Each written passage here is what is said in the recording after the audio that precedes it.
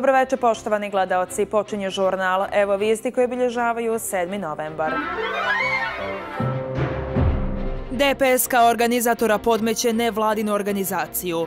Funkcioneri pozivaju na protest, Đukanović u Egiptu, građani na ulicu. Pregovori o formiranju vlasti u Podgorici nastavljeni. Pobjednici izbora poručuju da će odbraniti izbornu volju. Predsjednik izborne komisije čeka Ustavni sud. Predsjednica Skupštine Danijela Đurović pozvala parlamentarne partije na sastanak. Cilj – rješenje krize. Nastavljeno suđenje mitropolitu Crnogorsko-Primorskom Jonikiju. Na optuženičkoj klupi još osam sveštenika. Rukometašice protiv Njemačke igraju drugi meč na Evropskom prvenstvu.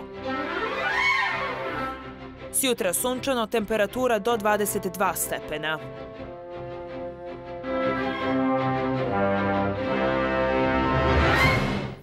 Predsjednik Milo Đukanović vratio je Skupštini na ponovo odlučivanje zakona o izmjenama i dopunama zakona o predsjedniku, saopštio je savjetnik predsjednika za ustavni sistem i pravna pitanja Boris Bastijančić. Podsjetimo, Skupština je 2. novembra glasovima 41 poslanika usvojila izmjene zakona.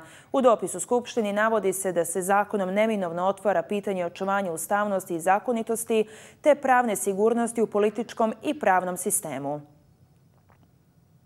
Predsjednica Skupštine Danijela Đurović pozvala je lidere parlamentarnih partija na sastanak na kojem bi se razgovaralo o trenutnoj političkoj situaciji. Kaže kako smatra da je bezbijednost u državi ugrožena te da bi trebalo to da izazove zabrinutost kod svih političkih aktera. Đurović je kazala da je Skupštini stigao dopis predsjednika Mila Đukanovića koji je parlamentu vratio na doradu zakon o predsjedniku te da će o tome biti riječi na sastanku u srijedu. Đurović kaže da je njena obaveza stavljanje na dnevni red tog zakona na prvoj narednoj sjednici. U situaciji kada eh, postoji eh, interesovanje i želje za organizovanjem različitih vaninstitucionalnih eh, djelovanja određenih političkih grupacija, eh, ja to smatram i tekako predmetom koji treba da izazove kod svakoga budnu pažnju i zabrinutost za bezbjednost društva. Protest pod sloganom Ima nas zakazan za sjutra u 18 sati ispred Skupštine prijavila je nevladina organizacija Forum Slobodnih građana Luča. Ipak, Demokratska partija socijalista pozvala je građane da dođu, iako po njihovim riječima ne stoji iza protesta. Predsjednik države i DPS-a Milo Đukanović danas i utorak će učestvovati na klimatskom samitu svjetskih lidera u Egiptu, pa neće biti u prilici da bude na protestu koji brani upravo njegovu funkciju. Iza protesta zakazanog za sutra stoji nevladina organizacija Forum Slobodnih građana Luča. Njen izvršni direktor Nebojša Mrvaljević saopštio je da žele iskazati protest zbog urušavanja ustavom utvrđenih normi, te da zahtijevaju održavanje varednih parlamentarnih izbora kao i povlačenje iz procedure predloga zakona o predsjedniku.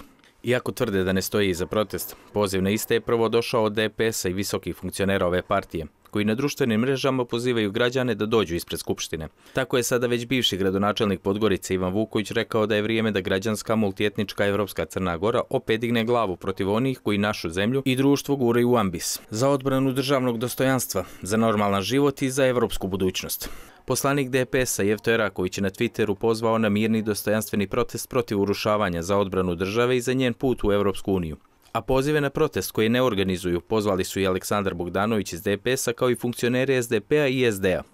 Očekivalo se da se DPS više neće kriti iza nepoznatih nevladinih organizacija, grupa građana i drugih organizacija, već da će imenom i prezimenom stati iza protesta, da će proteste prijaviti Petar Ivanović, Brano Gozdenović, možda Duško Marković ili onaj za koga građani tvrde da stoji iza njih, predsjednik Milo Đukanović. Poslanik Demokratskog fronta Jovan Vučurović danas u Skupštini istakao da podržava pravo na protest, ali da je Milo Đukanović pobjegao sa protesta svojih pristalica. Kao što je utekao prošle godine sa Cetinja, umjesto da stane ispred svih građana Crne Gore, onih koji protestuju zbog njega, on je dakle utekao prošle godine s Cetinja, utekao je 13. jula sa protesta u Nikšiću, dakle protesta njegovih pristolica, a za sjutra je zakazao protest i utekao je u inostranstvo mjesto da se isprsi, ako nešto ima kod njega čojsko i sojsko da se isprsi, da makar potpiše, potpiše da je on organizator toga skupa, ne. Milo Đukanović se sakrio iza neke nevladine organizacije. Međutim, gospodin Đukanović očigledno nema političke hrabrosti za tako nešto. On je rekao da su izmjene i dopune zakona o predsjedniku ustavne i da je zaustavljeno neustavno djelovanje Đukanovića. Poslanik Demokratskog fronta Milun Zogović kazao je da pozdravlja odluku DPS-a da protestuje, ali kada protestuju neka onda budu ti koji će proteste i prijaviti. Ja smatram da bi bilo potpuno primjereno da gospodin Milo Đukanović se ne krije više iza tuđe djece kako je to radio tri decenije, kako je slao tuđu djecu i na ratišta i uvijek zloupotrebljavajući podršku onih ljudi u cilju očuvanja svojih e, političkih monopola, nego da jednostavno on treba da stane na čelu organizacijonog odbora, on da pozove građane i da bude prvi u odbrani E, sobstvene diktature. Politička borba će se sjutra preseliti na ulice Podgorice, gdje će građani simpatizere DPS-a, SDP-a i SD-a braniti političke stavovi funkcije ovih partija, koji nisu organizatori protesta. A razlog zašto se ove partije nisu usudile stati na čelu možda leži i u načinu kako su se nemilim scenama završili prethodni skupovi na Cetinju i Nikšiću. Poslanici u Crnogorskom parlamentu danas su raspravljali o izmjenama i dopunama zakona o upravnom sporu i zakonu o elektronskom dokumentu. Najoštrije polemike izazvane su izvještajima o radu Centralne banke. Sa sjednice i upućeni poziv vladi da se dan praznovanja njegoševog dana, budući da pada u nedelju, prebaci za ponedeljak, nakon što je ranije iz vlade saopšteno da će ovaj praznik kulture biti obilježen u nedelju. Finansije su uvijek vruća tema u Crnogorskom parlamentu, naročito kada je riječ o godišnjem izvještaju Centralne banke Crne Gore za 2019. 20. i 21. Rezultati pokazuju pozitivne i stabilne finansijske parametre prema bivšem guverneru Radoju Žugiću, no poslanici nijesu saglasni. Mi smo zbog nebrige bivšeg režima ekonomski nokautirani i bez mogućnosti da bilo šta preduzmemo osim kratkoročnih poteza, kao što su smanjenje akciza na gorivo, ograničenje trgovačkih marži ili povećanje plata na drugi i druge stavke budžeta što je već implementirano kroz projekat Evropa sad. Sve navedeno ukazuje da smo kao država i kao građani u vrlo teškoj situaciji. Da li Centralna banka ima političke prizvuke? Ne. U Centralnoj banci ne stanuje politika, niti ima favorizacije, niti drugačijeg tretmana bilo koje banke i bilo kog segmenta finanskog tržišta. I ovom prilikom mogu da pozovem Međunarodni monetarni fond kao neko ko zaista ima najveći nivo reputacije, da dođe i da provjeri. Ako MMF kaže kroz svoje čitanje brojeva, kroz Evropa sad, da će ponovo da raste GDP ali da neće do kraja godine, a sigurno neće iduće godine. Pa zašto ne kažete, bre? GDP je jedan parametar u kome učestvuju, hajde, potrošnja domaćinstva, koja je bila dominantna, zbog toga što smo izazvali sa parama koje smo povećali, koje nisu iz realnog sektora, A nakon odluke vlade da se dan Petra II. Petrovića Njegoša praznuje u nedjelju 13. novembra, demokrate, podnosioci inicijative da se ovaj datum uvrsti u državni praznik, zatražili su da se odluka promijeni, a dan praznovanja bude ponedjeljak, kako je to slučaj i sa drugim državnim praznicima koji padaju na neradni dan. Mi sada pozivamo vladu Crne Gore kao kolektivni organ da zauzme stav po ovom pitanju i da jasno i nedvosmisleno odredi elektronski ili na sjednici vlade da ponedeljak bude neradan dan povodom njegoševog praznika. Još jednom pozivam i predsjednika vlade i ministra da shodno ovome donesu adekvatnu odluku i obaveste javnosti sve institucije da je 14. novembar ove godine neradni. Poslanici su danas raspravljali između ostalog i o izmjenama zakona o upravnom sporu. Ministar pravde Marko Kovač kaže da je suština izmjena da se sačuva budžet, ali ne na štetu prava. Upravo ove izmjene koje su pred vama imaju za cilj povećanje, povećanje djelotvornosti rada e, suda, posebno u pogledu stope ažurnosti i dužine trajanja postupka, kao i obezbeđenje e, prava građana na suđenje u razumnom roku. Ovim ovim izmjenama spriječit će se određene zloupotrebe, a koje se ogledaju najčešće u bespotrebnom, bespotrebnom održavanju velikog broja usmenih rasprava. U Crnogorskom parlamentu danas se raspravljalo i o izmjenama zakona o elektronskom dokumentu koji bi trebalo da zamijeni papirologiju i olakša komunikaciju sa svim institucijama, pa ipak za njegovu realizaciju, smatraju poslanici, treba prvo obezbijediti sigurnost. O svim zakonima i izvještajima glasaće se naknadno. Pregovori o formiranju lokalne vlasti u Podgorici nastavljeni su danas u prostorijama Nove Srpske demokratije. Pregovori su počeli prošle sedmice na inicijativu nosioca liste pokreta Evropa Sad Jakova Milatovića. U zajedničkom saopštenju činioci nove vlasti su poručili da će svim dozvoljenim sredstvima braniti izbornu volju građana. Predsjednik izborne komisije glavnog grada Veselin Vukčević istakao je danas u svom saopštenju da će konačni rezultati lokalnih izbora u Podgorici biti utvrđeni i objavljeni nakon što Ustavni sud odluči po žalbama, te da bi svako drugačije postupanje bilo kršenje Ustava i zakona o izboru odbornika i poslanika i izvršenje krivičnog dijela, za što je krivičnim zakonikom zapriječena kazna do tri godine zatvora. Dakle, sve što rade, ne rade iz neznanja, već svjesni da krše zakon sa očiglednom namjerom da komisiju i predsjednika uvuku u njihove političke igre, čiji je cilj ostvarivanje trenutnih političkih interesa političkih subjekata kojima pripadaju. I ne samo to, toliko im je prešlo u naviku i postalo normalno kršenje zakona da sa čuđenjem gledaju na svakoga ko se tome odupire. Budući činioci vlasti u Podgorici u svom saopštenju istakli su da su razmotrili situaciju oko obstrukcije od strane predsjednika izborne komisije glavnog grada u vezi sa proglašenjem konačnih rezultata izbora, čiju ispravnost nisu mogli ugroziti ni namješteni i naručeni prigovori koji su nažalost stigli i do Ustavnog suda. Nema sumnje da su blokada rada Ustavnog suda i posljednja dešavanja oko proglašenja konačnih rezultata kreacija gubitnika oktobarskih izbora, smišljena u partijskim kancelarijama Demokratske partije socijalista. Budući konstituenti su usaglasili sve naredne korake pravne procedure koji će dovesti do utvrđivanja konačnih rezultata izbora, a samim tim i stvoriti pretpostavke za održavanje konstitutivne sjednice Skupštine glavnog grada i preuzimanje potpune odgovornosti za upravljanje gradom, što su građani Podgorice omogućili ubjedljivom i nespornom voljom da sadašnja nelegitimna vlast treba konačno i da ode. Oni su naveli da su se konstituenti buduće vlasti također dogovorili da će svim dozvoljenim sredstvima braniti izbornu volju građana Podgorice i na taj način stvoriti uslove da nova vlast profunkcioniše što prije u punom kapacitetu. U osnovnom sudu u Nikšiću nastavljeno je suđenje mitropolitu Crnogorsko-Primorskom Joannikiju i osmorici nikšićkih sveštenika. Tokom iznošenja odbrane mitropolit Joannikije je kazao da je sveštenstvo upozoravalo vjernike da moraju poštovati epidemiološke mjere, što je posljedično značilo da neće biti litije. Objasnio je da se 12. maja nije dogodila litija, već molitveni hod naroda koji se samo inicijativno okupio ispred hrama Svetog Vasilija. Mitropolit Crnogorsko-Primorski kazao je da se 12. maja 2020. godine nije dogodila litija, već molitveni hod naroda koji se samo inicijativno okupio ispred hrama Svetog Vasilija. Kazao je da je molitveni hod obavljen skraćenom, a ne uobičajenom maršutom kojem se obavlja tradicionalna litija i pojasnio razliku između litije i molitvenog hoda.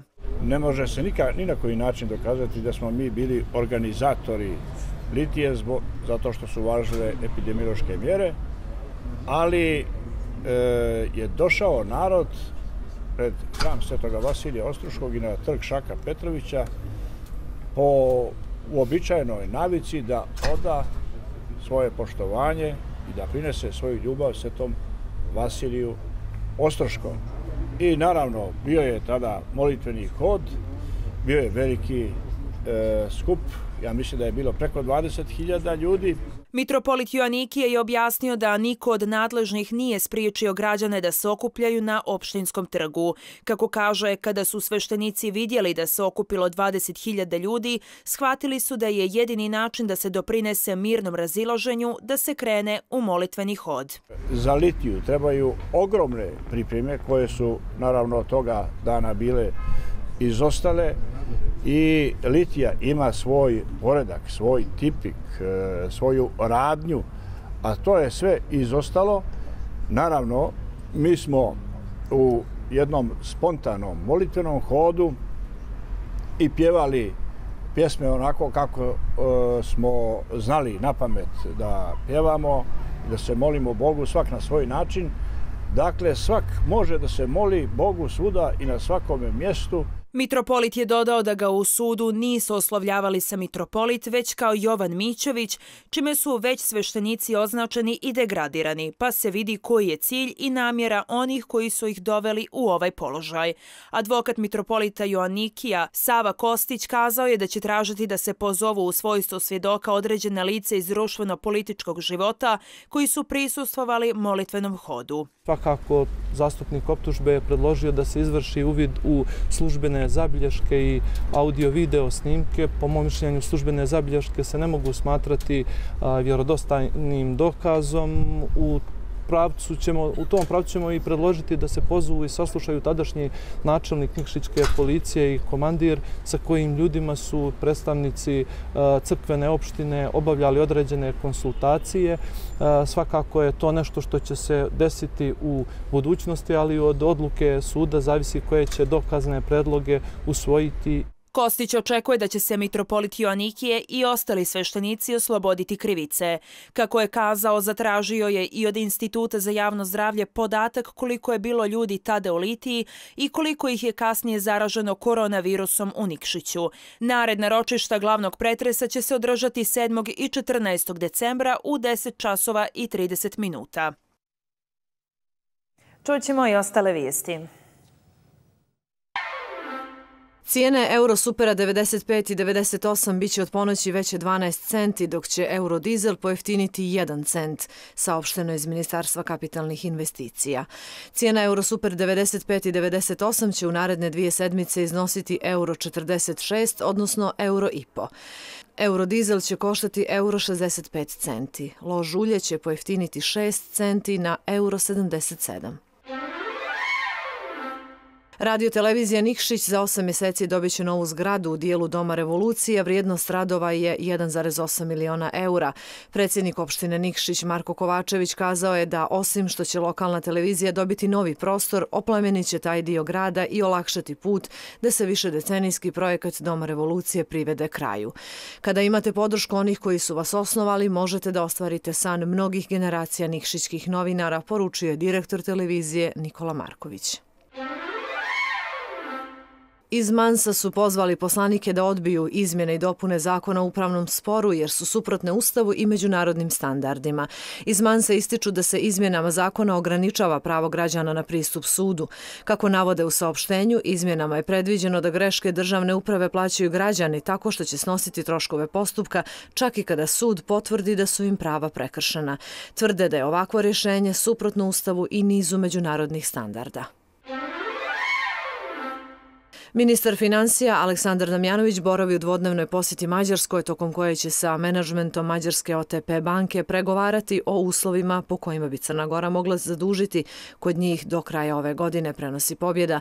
Damjanović je prethodno najavio da će se zaduženje, koje je planirano u iznosu od 350 miliona eura, realizovati na domaćem tržištu. Međutim, banke koje posluju u Crnoj Gori ne mogu državi pozajmiti više od 150 miliona eura kroz kreditne aranžmane. Još 28 slučajeva infekcije koronavirusom preminulih nije bilo, saopšteno je iz Instituta za javno zdravlje. Oporavljena su još 33 pacijenta, pa je ukupan broj aktivnih slučajeva u državi 409. Ostanite uz prvo do kraja žurnala i ove priče. Radnici željezare svoja prava još traže na krovu fabrike. Elektroprivreda čeka odgovor iz Turske. Skupštinski odbor podržao legalizaciju kanabisa u medicinske svrhe. Čekaju stav ministarstva. Liverpool na Real već u osmini finala Lige šampiona.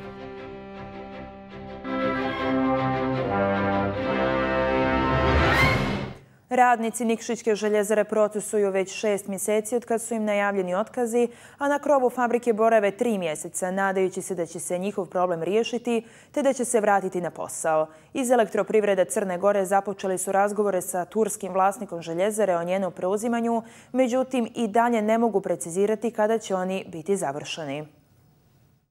Elektroprivreda Crne Gore krenula je u proceduru kupovine imovine željezare. Predsjednik odbora direktora Milutin Đukanović istakao je da je na osnovu razgovora obavljenim sa predstavnicima vlade, premijerom Abazovićem i ministrom financija Damjanovićem, postignut dogovor da će dio sredstava za otkup akcija biti usmjeren elektroprivredi Crne Gore kako bi ona kupila željezaru. Mi smo na prošloj sjednici odbora direktora turskoj kompaniji Toš Čelik uputili preliminarnu ponudu do 20 miliona evra. Formirane su popisne komisije i krećemo, ja se nadam što brže, u realizaciju tog projekta. Vama će vjerovatno biti interesantno da je knjigovostvena vrijednost imovine željezare preko 50 miliona evra, ne računajući energetski, odnosno solarni potencijal koji ima. Đukanović ističe kako je turski vlasnik insistirao da daju ponudu, te su oni to i uradili, otud cifra od 20 miliona. Elektroprivreda sad čeka odgovora, umeđu vremenu vrše popis imovine i ističu kako se nadaju da će za radnike željezare uskoro biti posla. Ajmo ovih sljedećih jedno desetak dana da ne dajemo rokove, da ne pritiskamo nikoga. A mi radimo umeđu vremenu popis imovine i biznis planove sređujemo. Znači, imamo mi dosta posla. Mi se pripremamo kao da ćemo da je preuzmemo. Iako mi budemo spremni, a mi da uradimo do našto je, Ono na što mi možemo da utičemo, ajmo mi... Ivan Vujović, predstavnik radnika Željezare, kaže da se nada da će pregovori uskoro biti završeni jer je fizičko i mentalno stanje radnika loše.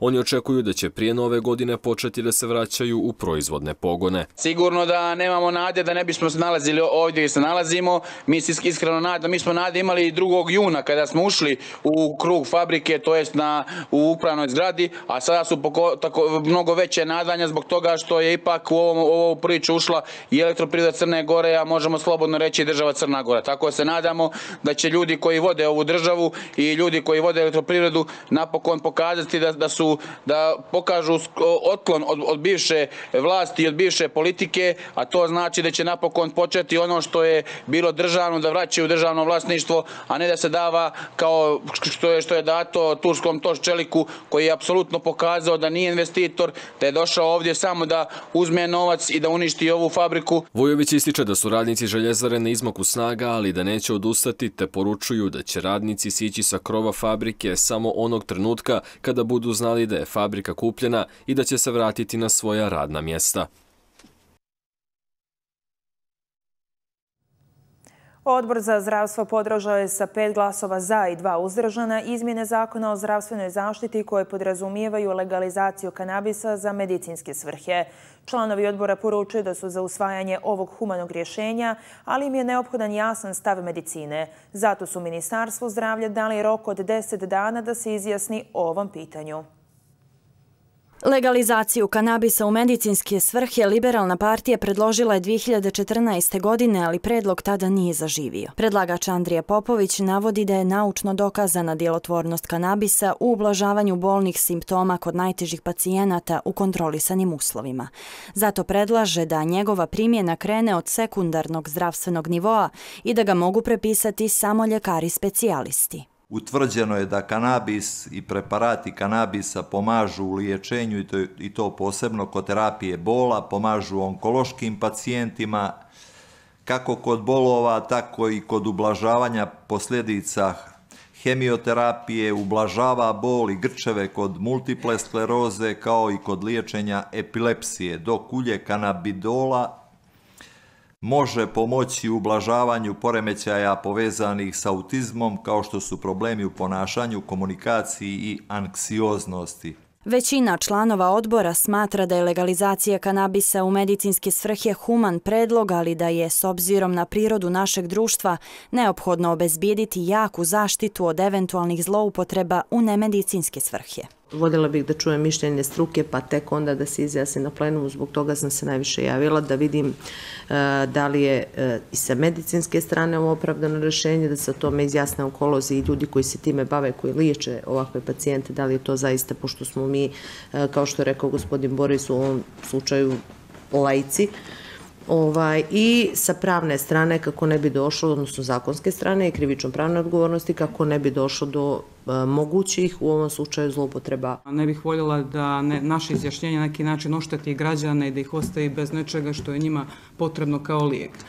Ja ću danas biti uzdržana, što ne znači da ću to biti na plenumu, ali prosto potrebno su mi dodatne informacije kako bih mogla da podržim ovaj predlog zakona, jer priznaćete tu kod nas može da se javi neka sumnja o moguću zloupotrebu. Odbor će vladi i Ministarstvu zdravlja uputiti zahtjev da im u roku od 10 dana dostave jasan stav medicinske struke o ovom pitanju.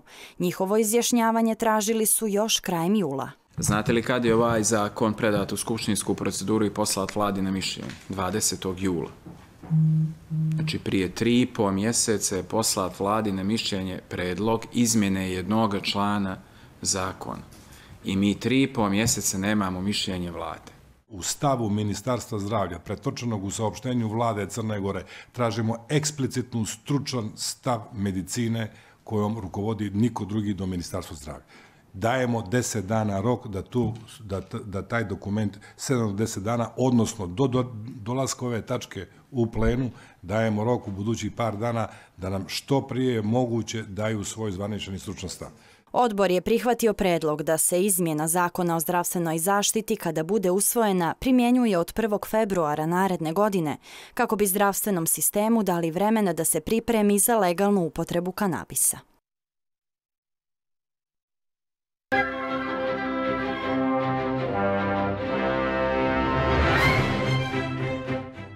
Utorak oblačno sa kišom i pljuskovima biće na sjeveru, sjeverozapadu i na jugozapadu Evrope, a obilnije padavine očekuju se u Portugaliji, u Irskoj i na zapadu Skandinavije. Slaba kiša padaće i na jugoistoku Balkana, snijeg će padati u Rusiji i na sjeveru Skandinavije.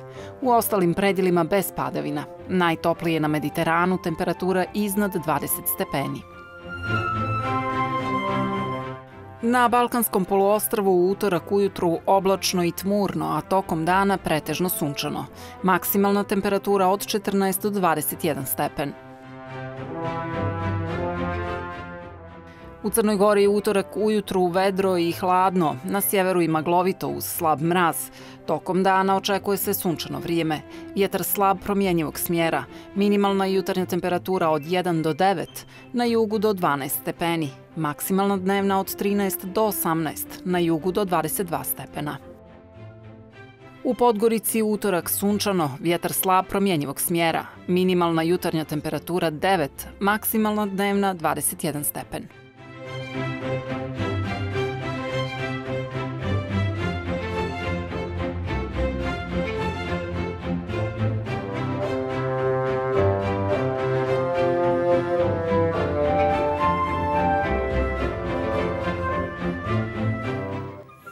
Ne propustite naše jutro. U novom izdanju jutra kolege će se baviti našim energetskim sektorom i time kako se odluka o očuvanju cijena odražava na privredu i budžete građana. Gosti u studiju biće predsjednik odbora direktora elektroprivrede Crne Gore Milutin Đukanović, ekonomski analitičar Dejan Mijović i savjetnik podpredsjednika vlade Marko Perunović.